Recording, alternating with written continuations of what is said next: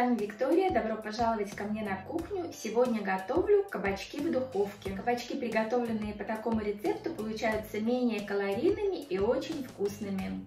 Это такой ПП-рецепт из кабачков. Оставайтесь со мной, если я вас заинтересовала. Если видео вам понравится, не забудьте поставить лайк и подписывайтесь на мой канал. Сначала займемся кабачками. Кабачки нарезаем на небольшие полукольца.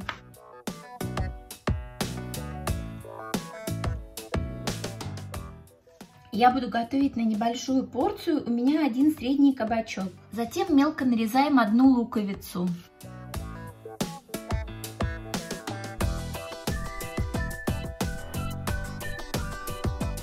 Очищаем одну морковь. И натираем ее на средней терке.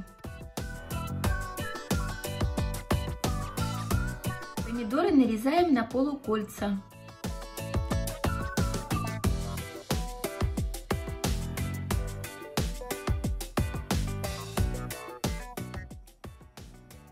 Сковороду наливаем немного растительного масла и начинаем обжаривать лук.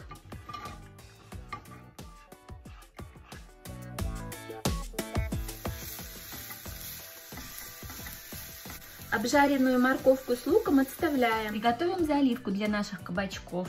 Для этого 100 грамм натертого сыра смешиваю с 200 граммами сметаны. У меня сметана 15% жирности. Можно брать любой жирности. Сюда же выдавливаю 3 зубчика чеснока.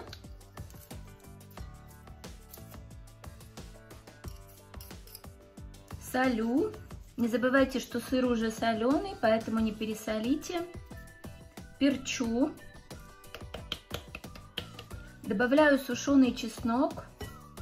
И добавляю яйцо я добавляю одно яйцо и 5 белков. Недавно я готовила мороженое, у меня остались белки. Я их использую, чтобы сделать эту заправку. Вы же можете просто добавить 2-3 яйца.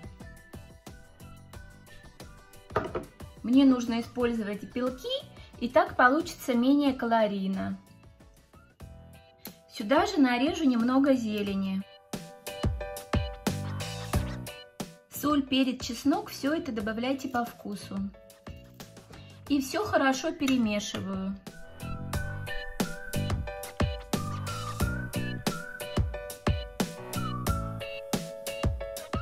Собираем наше блюдо из кабачков. Первым слоем выкладываем поджарку из лука и моркови.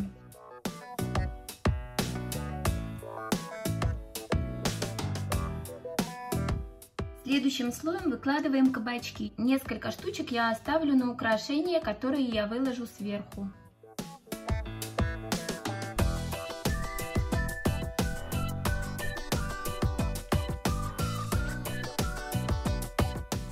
Следующим слоем выкладываю помидоры.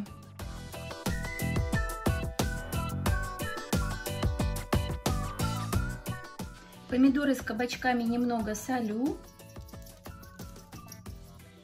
сверху выливаю нашу заливку.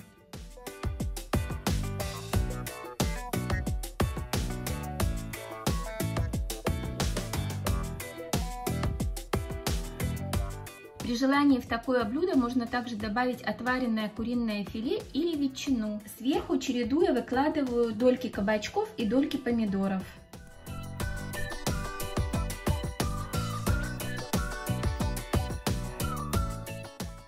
Я уже поставила разогреваться на 180 градусов. Отправляем запекаться кабачки в духовку, разогретую до 180 градусов, примерно на 40-45 минут, до готовности кабачков.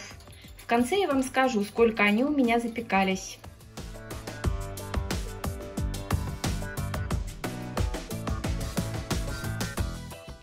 Наше блюдо готово. Запекались у меня кабачки в течение одного часа. Ну давайте же попробуем, что у нас получилось. Получается такая, как немного как запеканка. И так как вместо яиц мы добавляли белки, то получается менее калорийно. Если вы сидите на диете, то обязательно приготовьте такой рецепт.